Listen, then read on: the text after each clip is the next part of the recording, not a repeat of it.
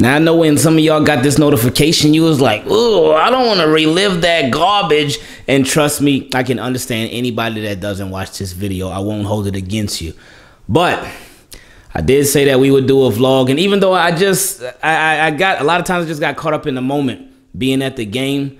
Um, despite the Ravens not being in the moment when they were at the game, uh, but we we had a lot of fun. Uh, so here's our experience as best as I could. Sorry, this is not our best vlog, but we tried. Anyway, hope y'all can enjoy. And like the Ravens were for the majority of this game, I'm out. Yeah,